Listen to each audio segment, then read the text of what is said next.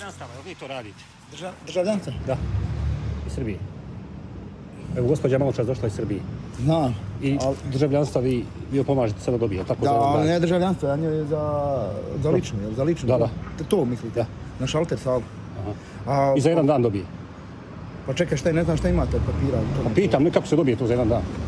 Pa treba, jeste rođeni ovdje, jeste nešto? Nisa, pa je nije ona rođena. Pa nije, ali ona na osnovu oca. Aha, aha. Na osnovu oca, otac je rođen. Pa koliko dolazi, svaki dan vidim dolaze ljudi nastavno. Pod u- Samo jedno pitanje ako može. Oko registracije birača, kako? Oko ovih državljanstava je to. Ja? Pošto vi vidim dovozite ljude. Da. Je li tako? U kom svojstvu vi dovozite? Molim? U kom svojstvu dovozite ove ljude iz Srbije? A ne, ovo došao jedan sad nešto.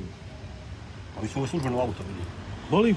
Ovo je službeni automobil. Da. Je tako?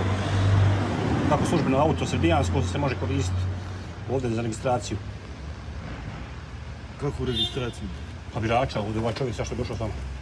Nemam ja pojma što on došao. Vi ste ga samo dovezli, jel? Samo dolazi, ja radim moj posao. Vozač. A? Vozač samo. Ja.